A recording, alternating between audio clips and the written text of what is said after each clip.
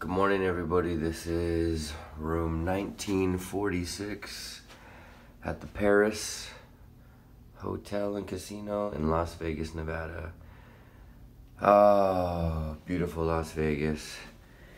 Okay, let's just do this. This is not going to be fun.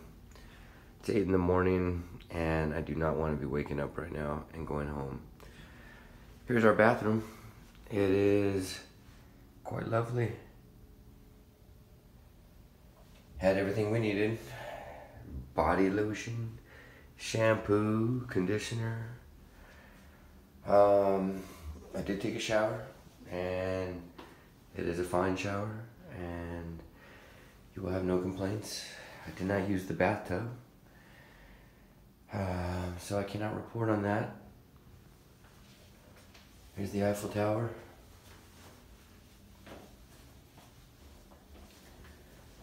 This is a double queen, standard double queen. No frills, no thrills, no bells, no whistles. Here's some Parisy decor, a bed that we did not use, an alarm clock that was never plugged in. Uh, the bed was comfortable enough for me to pass out on last night. Here's our gigantic TV. Very limited channels. There's no way to hack it. You cannot bring your fire stick. There's a safe and a refrigerator.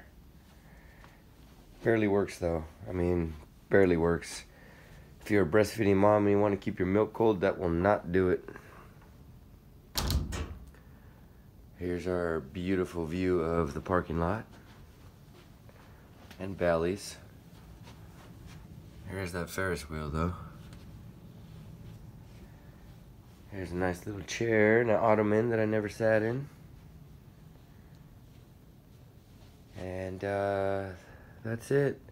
I wish I was a little more animated, but I want to jump back in that bed so bad. Um, this is your room. This is your double queen. To, decent enough room until you start looking very, very close. So if you're not going to look close, you'll be happy. But if you do look close, you'll find that it needs a paint job.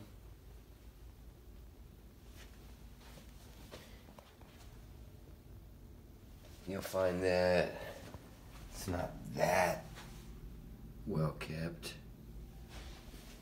You'll find that